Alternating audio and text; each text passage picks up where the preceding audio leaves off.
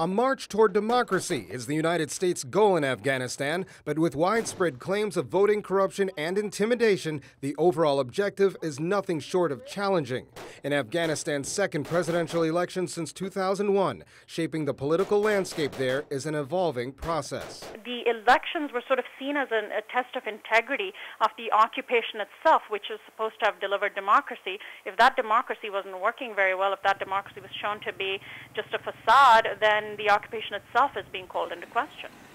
The United States is hoping to find support from the Afghan people who are committed to fighting an insurgency. Nationwide polls show that Americans are growing weary of the war in Afghanistan, and reports show that the U.S. is in danger of losing the war politically and militarily. What we're seeing now is a trend toward building up more Afghan army and Afghan police and relying on them to take the handover.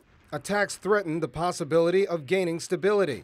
Police in the region say recent attacks from pro Taliban militants ambushed a supply convoy for NATO troops in southern Afghanistan, killing an Afghan guard who was escorting the trucks.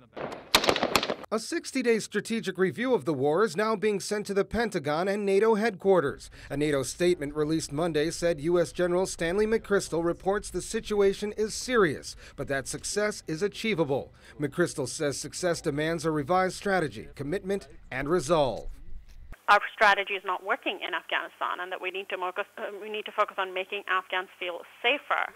Um, he says uh, that the war is still winnable, and that I completely disagree. This, as latest results show that incumbent President Hamid Karzai has widened his lead, but his main challenger, former Foreign Minister Abdullah Abdullah, is also claiming victory. There will be challenges convincing the Afghan people and the international community that election results are legitimate, and those challenges still lie ahead.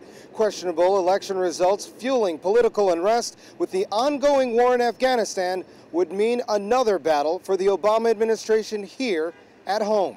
For Press TV, Colin Campbell, Washington.